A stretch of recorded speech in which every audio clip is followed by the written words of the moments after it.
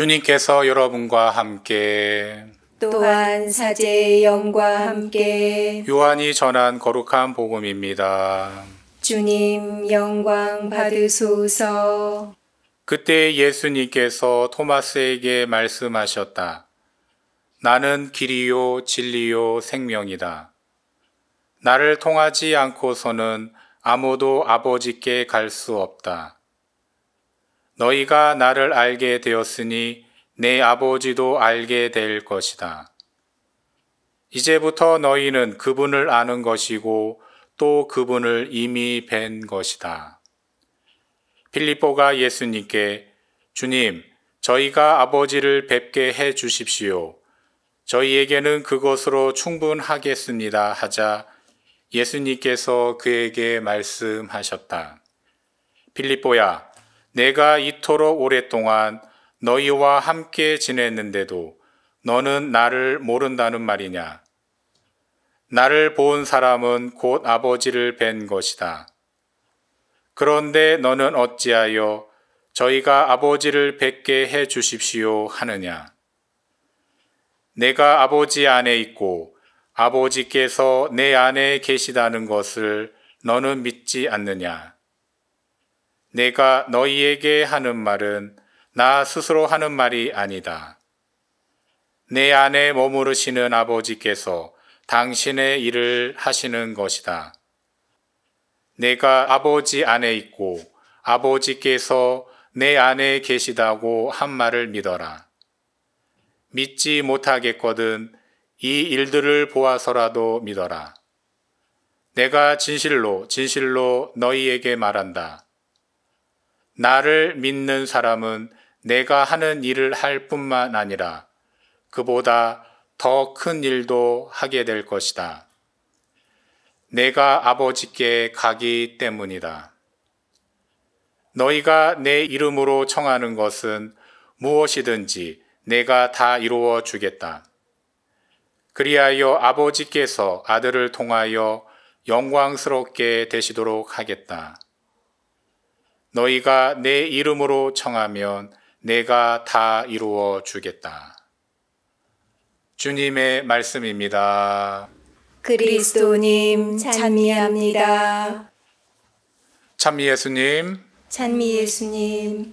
예, 저는 캄보디아에서 선교사로 살면서 세상에는 바꿀 수 있는 것과 바꿀 수 없는 것이 있다는 사실을 깨달았습니다.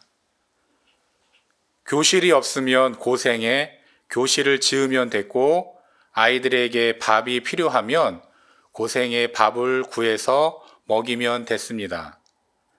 하지만 제가 절대로 바꿀 수 없는 것이 있었습니다. 바로 캄보디아 문화였습니다. 캄보디아 사람들이 수천 년 동안 살아온 그 문화를 바꾼다는 것은 말 그대로 불가능했습니다. 캄보디아는 불교 국가이지만 힌두 문화권에 속한 나라입니다.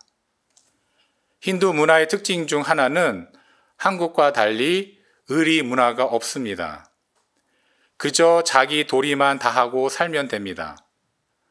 한국처럼 너를 위해 내가 그렇게 고생했으니 너도 나한테 의리 같은 걸 지키겠지 하면 그 기대는 곧바로 실망으로 돌아옵니다. 캄보디아는 의리 문화가 없기 때문입니다. 그러니 한국 문화에 맞춰 캄보디아 문화를 바꾼다는 것은 어불성설이었습니다. 캄보디아 문화는 제가 바꿔야 하는 것이 아닌 나를 비우고 그 문화에 적응해야 하는 과제였습니다. 이러한 경험을 통해 내가 바꿀 수 있는 것은 열심히 해서 바꾸면 되지만 내가 바꿀 수 없는 것은 내가 변해서 거기에 적응해야 한다는 사실을 깨달았습니다. 그런데 문화와 같은 거시적인 것을 떠나 일상에서 우리가 절대로 바꿀 수 없는 것이 있습니다. 바로 너입니다. 너는 우리가 바꿀 수 없는 존재입니다. 이것은 입장을 바꿔 생각하면 쉽게 알 수 있습니다. 상대방, 즉, 너가 나를 바꿀 수 있을까요? 그렇지 않습니다. 나를 바꿀 수 있는 사람은 오직 나뿐임을 우리는 너무나 잘 알고 있습니다.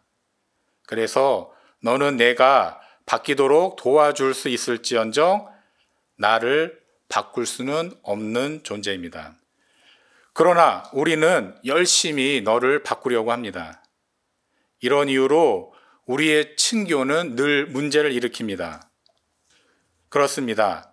너는 내가 바꿀 수 없는 존재이기에 내가 변해서 적응해야 하는 존재인 겁니다.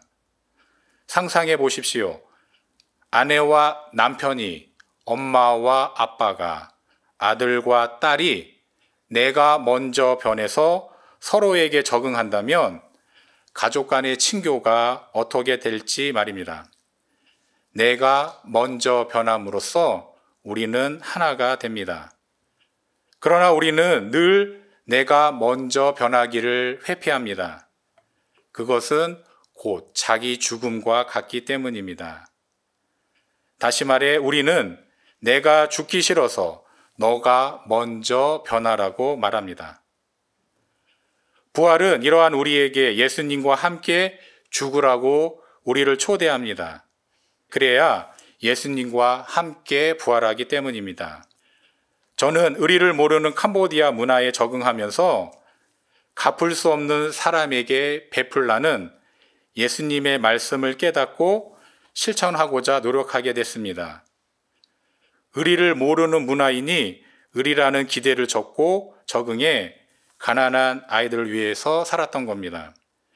그러면서 나를 비우고 내가 먼저 변해 너에게 적응할 때 복음이 우리의 머리에서 가슴으로 내려온다는 사실을 알게 됐습니다. 또한 같은 현실인데 전과 다른 현실을 경험하고 살게 됐습니다. 이것이 십자가 위 예수님 죽음과 부활 체험이었습니다. 내가 먼저 변함으로써, 즉, 죽음으로써 너도 변하고 세상도 변하는 것입니다. 이렇게 우리는 지금 여기서 부활을 체험합니다. 우리는 필리포와 야고보 사도 추기를 부활 시기 안에서 보내고 있습니다. 죽음이 두려워 다락방에 숨었던 사도들이었지만 예수님 부활을 체험한 후 다락방을 뛰쳐나와 복음을 외칩니다. 사도들은 부활 체험으로 죽음을 물리친 겁니다. 이러한 부활 체험을 전하고자 했던 필리포와 야고보 사도의 간절한 마음을 떠올려 봅니다. 얼마나 기쁜 체험이었기에 자신들의 목숨마저 바쳐 부활의 복음을 증거하고자 했던 그 간절한 말입니다. 우리도 내가 먼저 변해 두 사도처럼 부활을 체험하는 간절한 부활 시기를 보냈으면 좋겠습니다.